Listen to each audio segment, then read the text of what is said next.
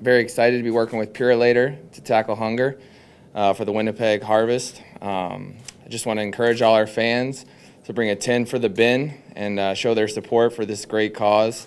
Um, it'd be great for us to set a set a record for donations. So let's do everything we can to help out for this great cause. This program started with our employees at a very grassroots level 12 years ago, and it has grown tremendously over the years, especially with our partnership with the CFL and all nine teams now across the league. In total, we've helped collect over six and a half million pounds of food for local food banks across Canada.